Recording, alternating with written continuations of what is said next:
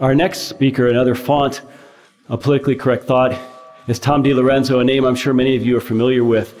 You know, Tom is one of those rare minds where he's able to work at a very high academic level in two different disciplines, in economics and in history, which is, which is actually a remarkable achievement in and of itself. But in terms of, uh, of his own life and his own courage, he's taken on two very powerful uh, uh, groups in America. He's taken on the Hamiltonian Federalists, who still plague us today in a million different guises. And of course, he's taken on the tremendous cult of Lincoln, which in academic circles is basically a firing squad. So for that, we commend him. And we're so glad to have Dr. Tom DiLorenzo with us today. Tom?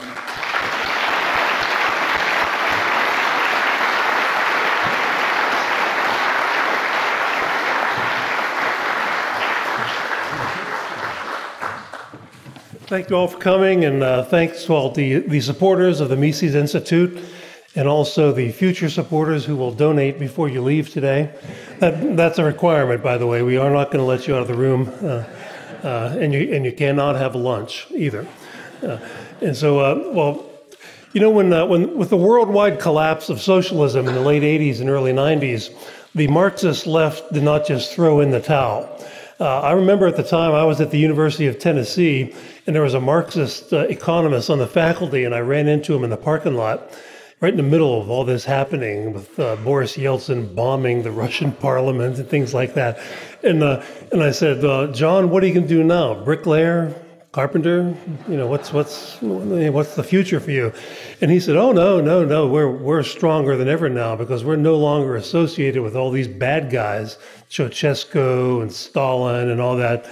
And so, and, and so after, after all this, um, there are, uh, the, the Marxist left took uh, two different routes. You know, they, they didn't give up. One is they they uh, they paid attention to the socialist economist Robert Heilbroner, who wrote an article in the New Yorker magazine in 1990. I think it was October 1990, in which he said. Uh, yeah, socialism. Uh, Mises was right. I, the, one of the articles he wrote was actually called. The title was "Mises was right about socialism," And so you would think that meant give up on socialism, but but no, he said we need we need to work harder at it. Mean, you know, because there, it, it, always was about uh, totalitarian control. Uh, and so it never was about uh, helping the poor, helping the laboring class, or anything like that. So it was always about control. And so, how do we reassert our control over people's lives? He said, well, you know, socialism was always sold in the name of helping the people. And he, he essentially said, people schmeeple, the hell with the people.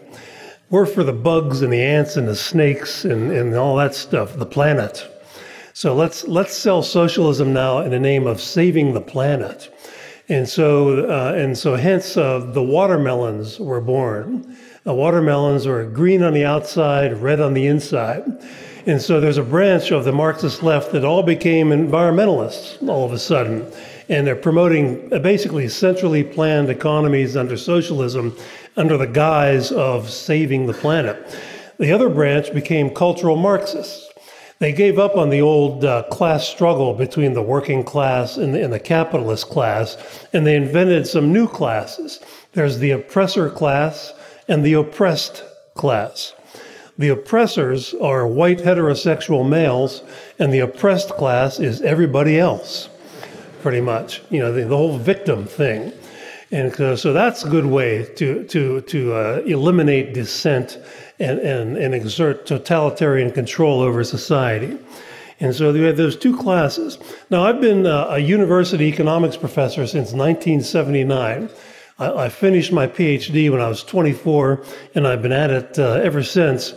And all for about the first 30 years of my career, Every August, the university administration, and I've taught at seven different universities, uh, the university administration would send out a memo about uh, what the average SAT score is of the incoming freshman. And they would usually brag that it's up 10 points or something like that.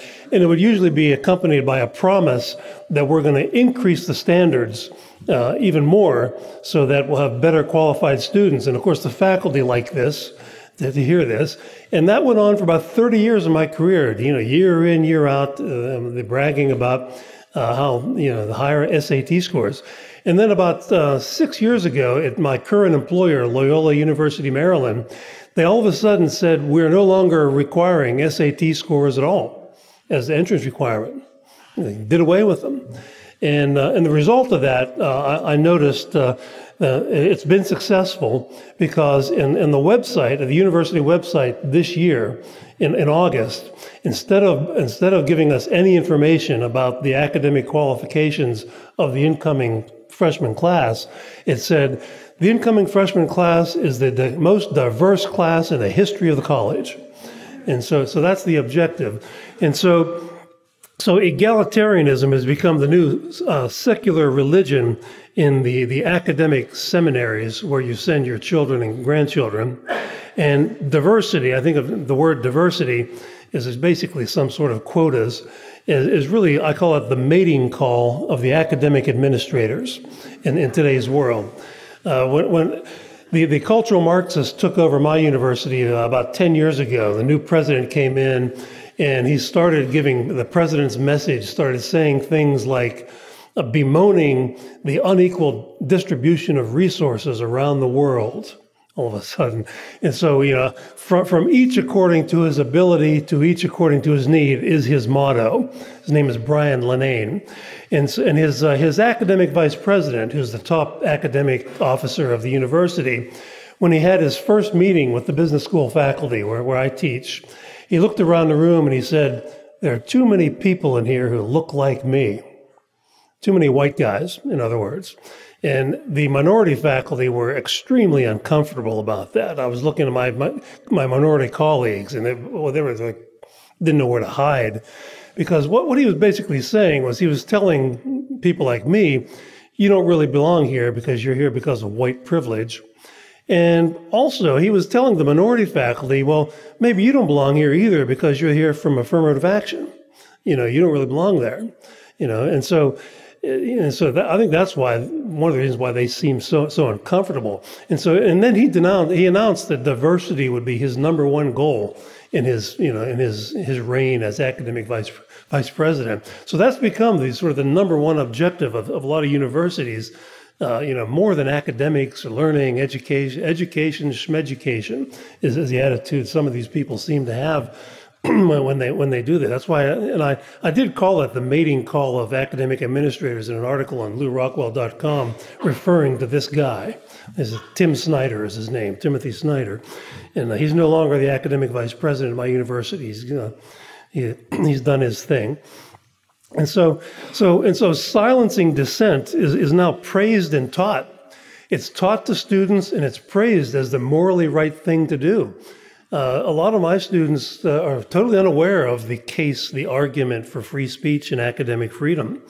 And, and one of the, uh, one person who's responsible for this, and, and this, you know, this starts, really starts, I think, in, in the 60s, as, as a lot of bad things uh, st- started in the 60s.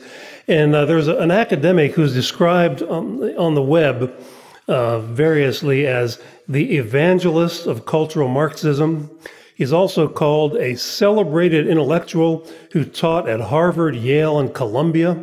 His name is Herbert Marcuse, M A R C U S E.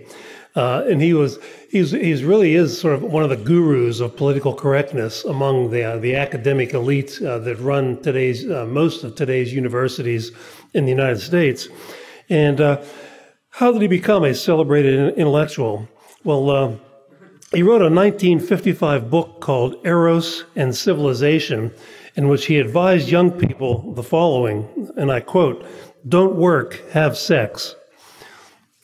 And I guess it never occurred to him that the two things are not mutually exclusive uh, at all. But, but so, so it's, like, it's idiocy like this that makes you a celebrated intellectual at Harvard, I, I guess. And uh, he also denounced the scientific method and science. He said science and the scientific method are the enemy. He called it, quote, the enemy because, quote, it denies the reality of utopia. And by utopia, he meant communism. He was a communist. He was a, a, a self-described communist. And so yeah, it denies the, re, uh, the reality of, of communism. It sure does, uh, especially economic science. You know, Mises' great book, Socialism, explained that uh, a long, long time ago. Uh, socialism could never work as an economic system. Okay, he opposed freedom of speech and academic freedom for the same reason that it produced too many criticisms of communism. You know, and so let's just shut everybody up about this and, and only give our students positive images of it. And it reminds me, at my university, I created a new course called Capitalism and Its Critics. It was my way of sneaking Austrian economics into the curriculum. And, and, uh, and it's been around, I've had it for about 10 years now, this, uh, uh, this, this course. And uh, I use one, you know, sometimes I've used the Communist Manifesto. You know, I, I, I give, I teach the students, here's what the bad guys have said, and then here's what Mises says about this or anything. So I go back and forth. Here's what the environmental lunatics say, and here's here's George Reisman over, here, something like that. And uh, and so when I use the Communist Manifesto, I had a student tell me, you know, please, this is the fifth time I've been assigned the Communist Manifesto at this university. But, but all, all his other professors in philosophy and history use it as sort of a roadmap to the future. You know, they, I use it as a historical artifact. And, uh, but, but the, others, the other people said, you know, wouldn't it be nice if we had a society like this? This student told me what his philosophy professor said. And so, so too many criticisms. He also said this there's no need for logic, debate, and free exchange of ideas, for Marxism provides the answers. It reminds me of Al Gore's statement that there's settled science about global warming.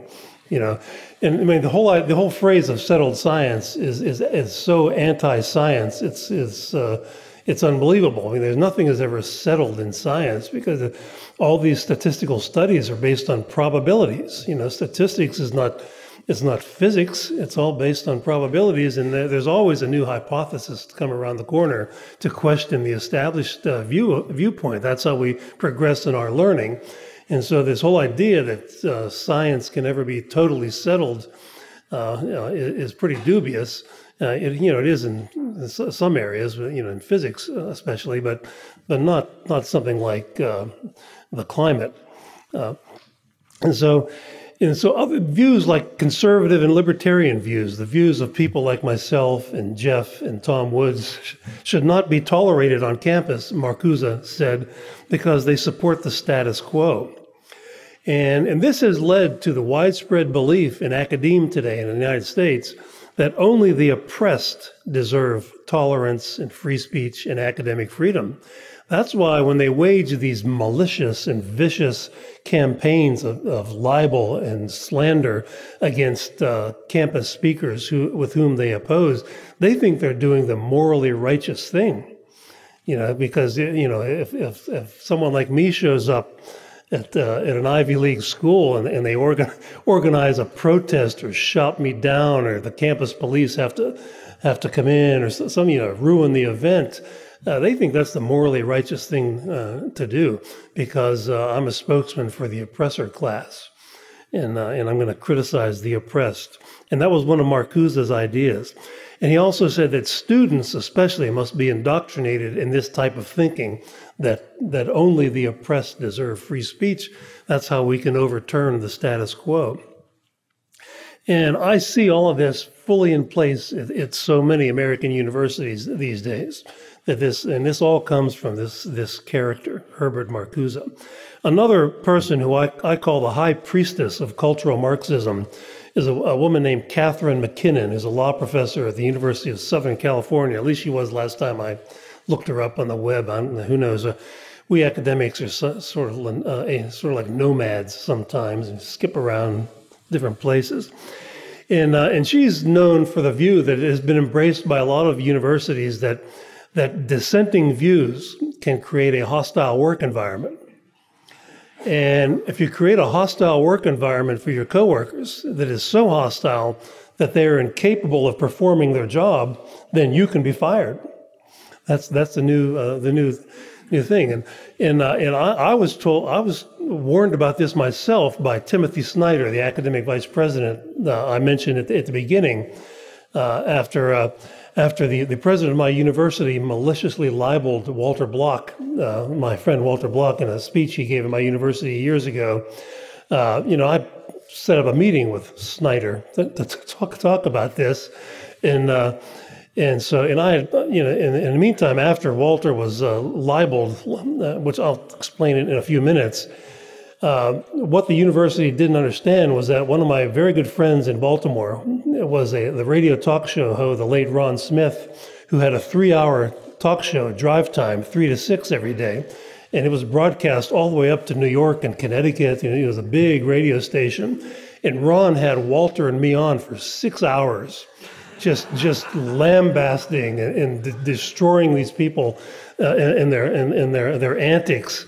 And so, uh, so the academic vice president wanted to talk to me about this, and, and he, he told me that all this was creating a hostile work environment. And, he, and, and I told him, uh, and my response was that I'm the one who, who now has the hostile work environment, and it's because of you.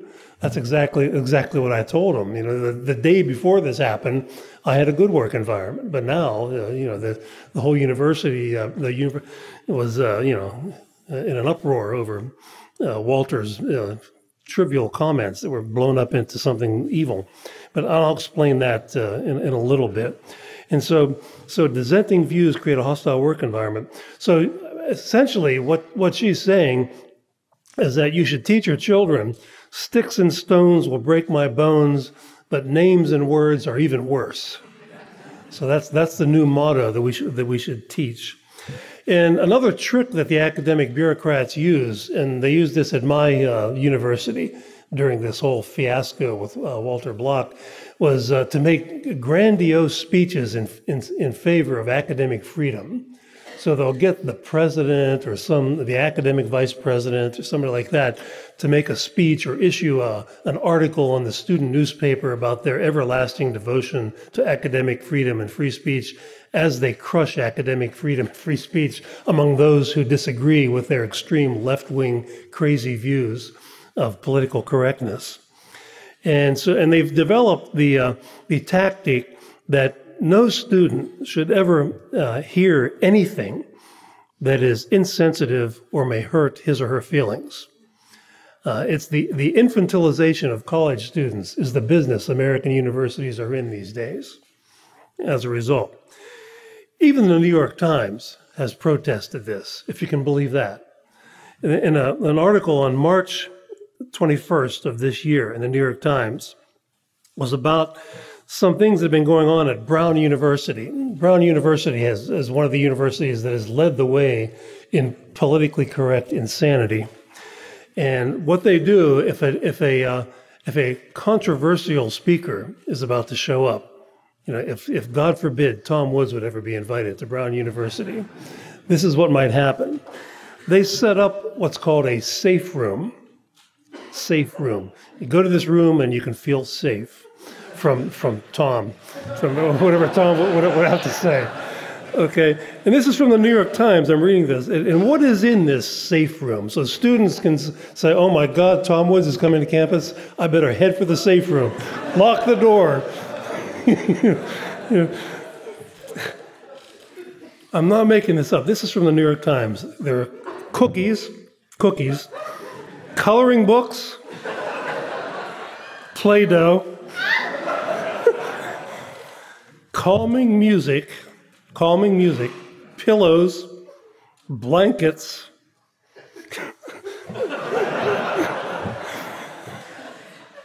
videos of frolicking puppies.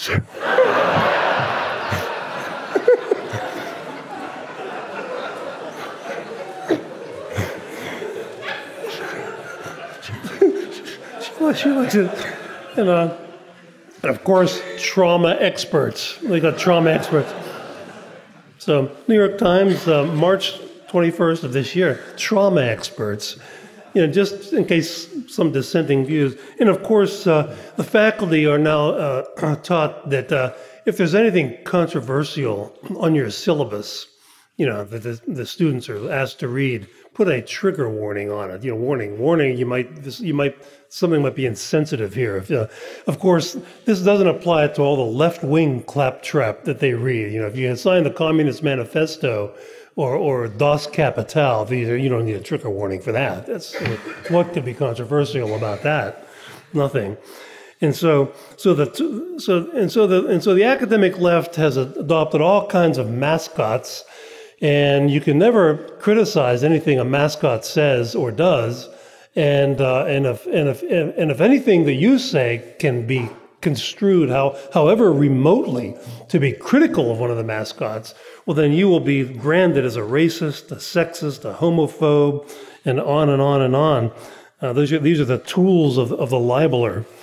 And so, and you know, and you've all heard examples of this, I guess. Uh, you know, our friend Hans Hoppe, who uh, who uh, was mentioned earlier, uh, giving a, cl- a, lecture to an economics class at UNLV, where he taught for 20 years, and he was giving a, a lecture on uh, time preference. And he was given examples of a high time preference of the type of people who don't save very much for the future and who spend a lot more of their money now. And he had a long list of the type of people that you might expect. Uh, you know, elderly people who have already put their kids through school and so forth. They're not saving a lot anymore.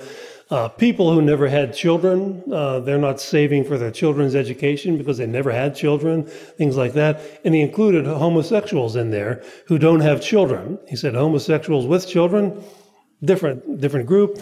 And of course, the lesson was that there's nothing inherently good or bad about high time preference, low time preference. It's just your preference.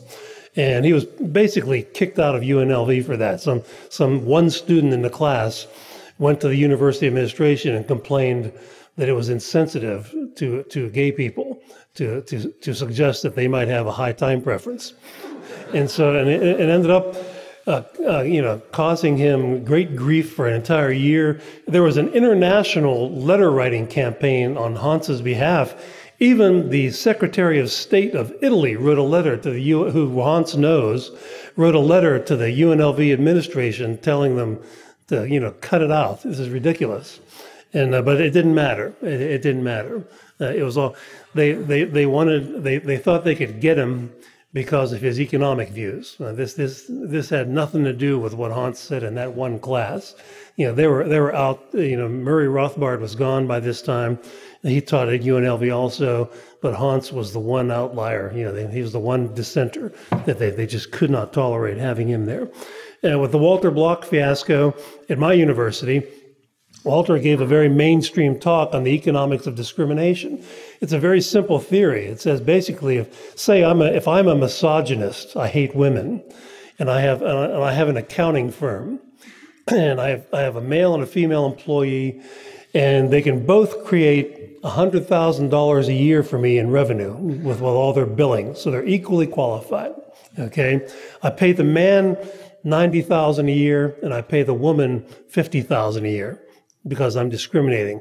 Well, I create a profit opportunity for my competitors who can who can hire the women the woman away at 60 and they still make a $40,000 a year profit because she can generate a 100,000 in revenue.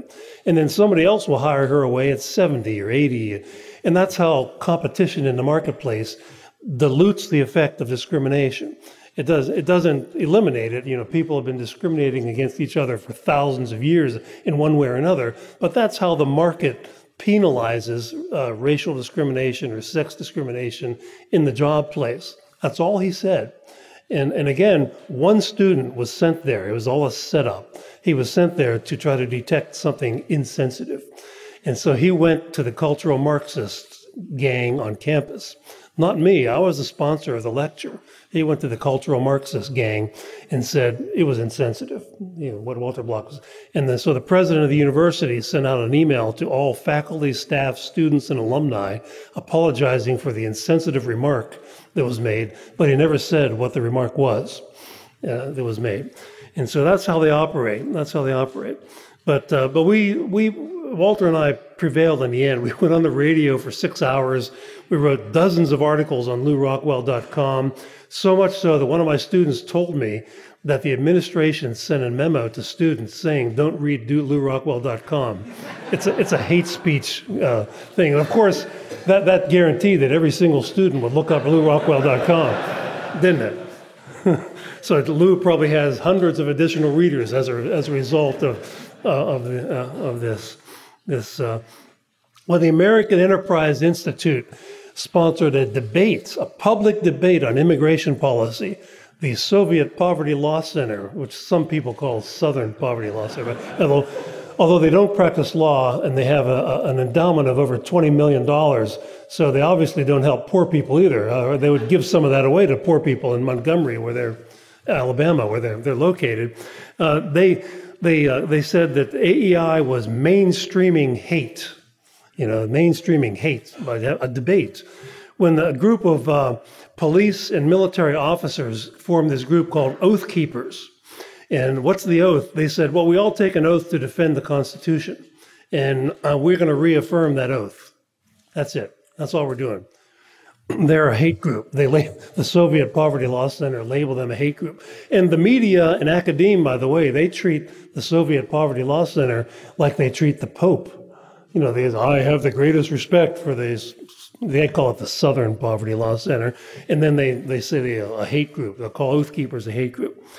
When, uh, when Ron Paul was running for president, the Department of Homeland Security, excuse me, under, uh, the, under Janet Napolitano, issued a statement, a press release, saying that uh, cars with a Ron Paul for President bumper sticker could be could uh, you could identify these people as likely terrorist threats. And that came from the Soviet Poverty Law Center, and, the, and of course, a big furor was was was, uh, was dusted up over that, and so they backed off and rescinded that. They they took that off the website of the uh, Department of Fatherland Security, and. Uh, and all of this is why Chris Rock and Jerry Seinfeld no longer perform their comedy acts on college campuses. They gave up on it. You know, these are humorless Stalinists that run the college campuses these days.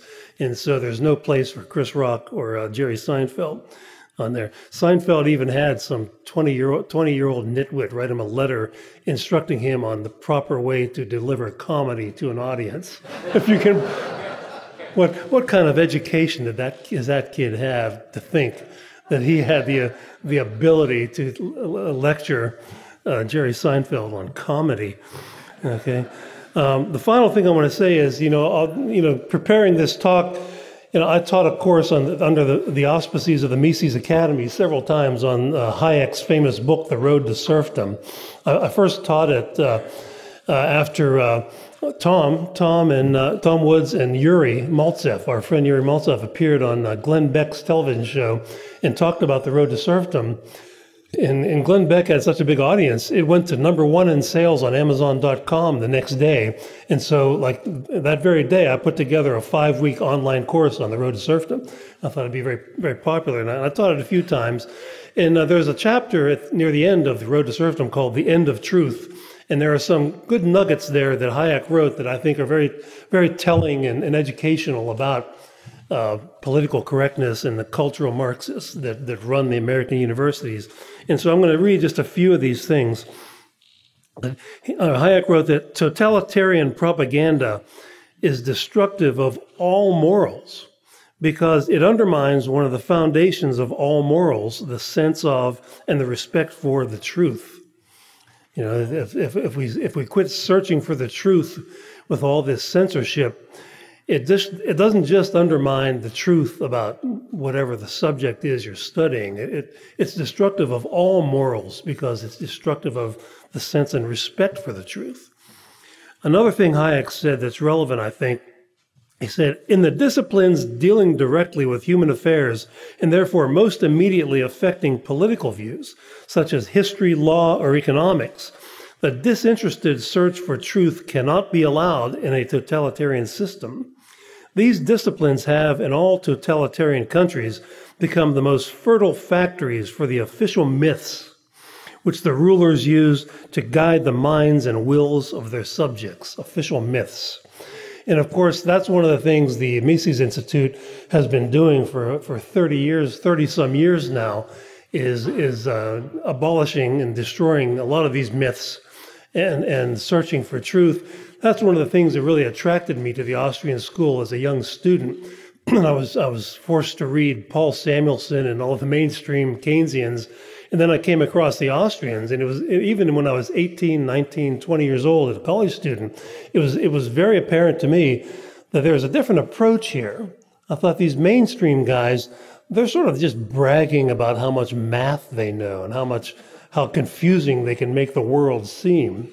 But the Austrians were very different. They were all, they had this relentless pursuit of the truth, and they blended economics and history and philosophy and statistics and in, in, that. It was, it was very obvious to me.